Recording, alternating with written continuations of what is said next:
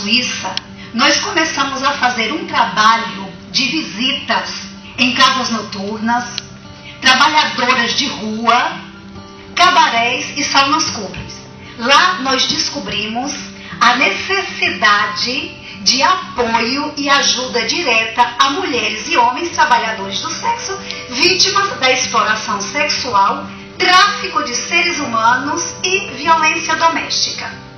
Um trabalho árduo, muito difícil, que para ajudar essas pessoas nós contamos com o apoio de diversas autoridades. Na Suíça, estou falando na Suíça.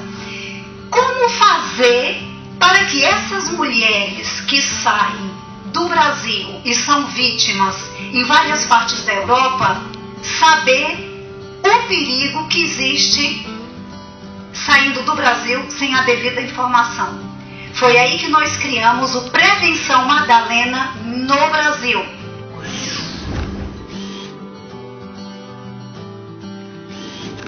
brasileiros que vivem da assistência social, brasileiros que não são integrados, brasileiros que não falam a língua, brasileiros que são vítimas do tráfico de seres humanos, que são vítimas da violência doméstica. Então, todo esse tipo de brasileiro que tem um problema e entra em contato com o Madalenas, o Madalenas não resolve o problema de ninguém, certo? Tá? Eu não sou absolutamente nada, mas o Madalenas ele pode colocar todos esses brasileiros em contato com as pessoas competentes. O que significa? Significa que nós servimos de ponte para que os brasileiros possam chegar a um psicólogo, a um psiquiatra, a um ginecólogo, a, a polícia, ao hospital,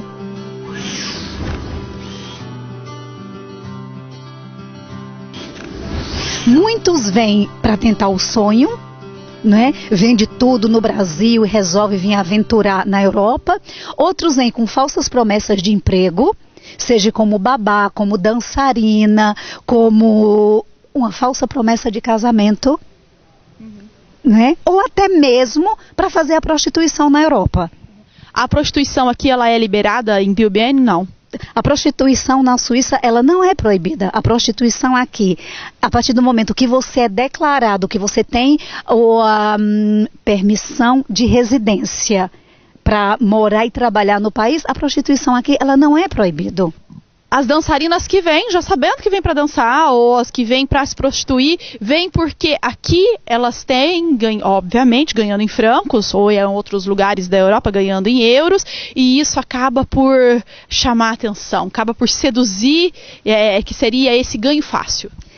É aí aonde está o perigo e aí onde é que está a armadilha né? Porque o amor e o apego ao dinheiro é a raiz de todo o mal certo? Quando nós estamos lá do outro lado do Oceano Atlântico, no Brasil, não é? Que fala o nome Suíça, o que é que você pensa? Caramba, vou ficar rico. Dinheiro, dólar. Aí o olho faz aquele cifrão como tio Patinhas, não é? E você não pensa nos riscos, você não pensa nas dificuldades, você não sai. Eu, eu comparo o ser humano que sai do Brasil ou de qualquer outra terra como uma planta que você arranca ela tá? E você pega ela e você joga em outra terra até que ela se enraize, que ela cresça viscosa, vai precisar de muito tempo. É? Ou a planta ela vai crescer saudável, ou ela não vai adaptar com a terra e vai morrer, que é o caso de muitos brasileiros. Uhum. Que saíram do Brasil na ilusão, na esperança de que chegando aqui, na Europa, no país do chocolate, iam ficar ricos, milionários da noite para o dia e não falam a língua do país, não têm uma formação profissional lá no Brasil. Por isso que o Madalenas, o lema do Madalenas é vencer e viver no Brasil. Mas você tem que sair do seu país com uma formação profissional, você tem que sair falando no mínimo um idioma, seja inglês, seja francês, seja árabe, tá? Você tem que estudar o país ao qual você vai, que é para você saber a cultura, as tradições, saber como é que você vai se adaptar ao país, porque o Madalenas nem você, nem nenhum ser humano da face da terra pode integrar ninguém. A integração depende de você mesma, de mim mesma. Somos nós que temos que procurar aprender os costumes, as tradições do país, aceitar, porque como é que você é brasileira, você chega do Brasil aqui e você quer mudar a mentalidade do suíço? Se o suíço é pontual, você vai estar tá contra ele porque você não é pontual? Você tem que se adaptar e ser pontual, afinal de contas, você está no país dele, vivendo as regras dele e a cultura dele. É, então, tem muitos brasileiros que chegam aqui e querem viver como no Brasil. Então, eles não estão integrados, eles não se adaptaram às regras e aos costumes. E é isso que vem o confronto que fala: o suíço é racista, o suíço não me quer, o suíço não me ajuda. Eu vivi racismo e muito, mas racismo social no meu próprio país.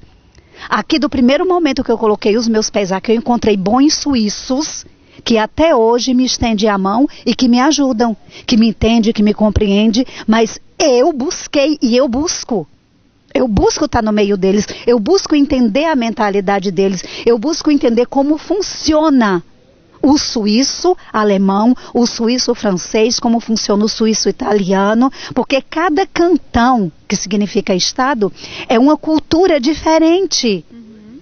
Né? Então eu não posso chegar na tua casa como convidada e querer mudar os móveis da tua casa. Você vai criar problema comigo. Exatamente. Tem que é, quer chegar a impor regras que não são as do lugar. Então é essa a grande problemática que eu vejo de não todos, mas de alguns brasileiros que não procuram se integrar, não procuram seguir as, seguir as regras do país ao qual ele está tá vivendo.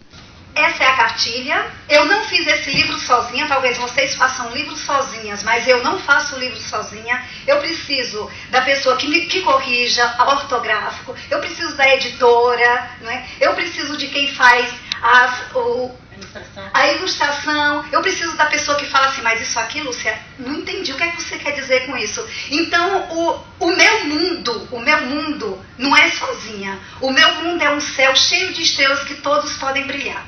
E eu adoro essa constelação. E essa cartilha ela se transformou em audiolivro, que foi as músicas todas escritas por Marcos Assunção e é divulgado nas escolas do Brasil. Só que é que a gente não vai poder ouvir as historinhas e a musiquinha. O nosso objetivo, como eu falei antes, é a prevenção e informação contra o rápido exploração sexual de menores em território brasileiro. Mas na Suíça nós vendemos os livros e com o dinheiro financiamos no Brasil. Essa cartilha ela foi lançada com o apoio de Jaqueline Eisman no Salão do Livro da Imprensa de Genebra, na estande do Varal do Brasil, em português e francês. Lá no Brasil, ela chamou a atenção de algumas autoridades em Carpina, em Pernambuco, e 9 mil exemplares foram distribuídos gratuitos nas escolas públicas do município.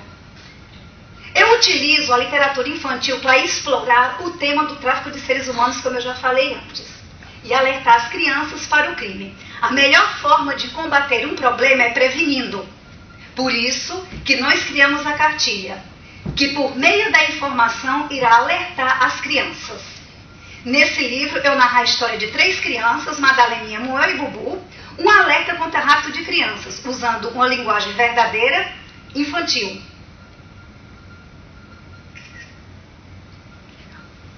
A embaixadora Vitória Cleveland, ela trabalhou na Suíça e ela atendeu vários casos de tráfico de seres humanos. E foi por isso que eu pedi a ela para fazer um depoimento nessa cartilha, onde ela parabeniza o trabalho. E entre 2009 e 2011 ela foi cônsul-geral do Brasil em Zurique. E ela pode dar testemunho de que se trata de um negócio depois do tráfico de armas e de drogas é uma das maiores fontes de renda ilegais do mundo e certamente continua crescendo. Estima-se que quase um milhão de pessoas sejam traficadas por ano. E o Brasil, infelizmente, é um grande fornecedor de crianças e mulheres para a prostituição em diversos países. Então, isso aqui é o depoimento da embaixadora Vitória Cleveland. Aqui em cima são as cartilhas sendo distribuídas nas escolas brasileiras escolas em Pernambuco, existem grupos do Madalenas, professoras, pedagogos que fazem esse trabalho, porque eu não sou competente para tal. Como eu falei, eu sou metida porque eu gosto de escrever essas coisas e também contos e o que vem na minha mente, no meu coração, eu escrevo. Mas eu gosto de estar do lado do ser humano, eu gosto de ajudar. Tá? E é para isso que é feito esse trabalho. Ele foi transformado também em e-book com a ajuda do escritor lá do Japão, o grande Evandro, e tá aí. Tem os links para quem quiser ver, quem quiser comprar, custa 3 dólares, 3 francos, e cada livro comprado é um livro doado no Brasil. E nós vamos continuando o nosso